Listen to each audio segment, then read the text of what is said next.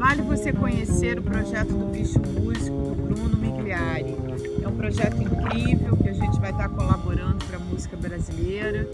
E aqui das águas de Alagoas, Iamanjá vai estar dando muito axé e abençoando esse projeto lindo. Bora colaborar, minha gente!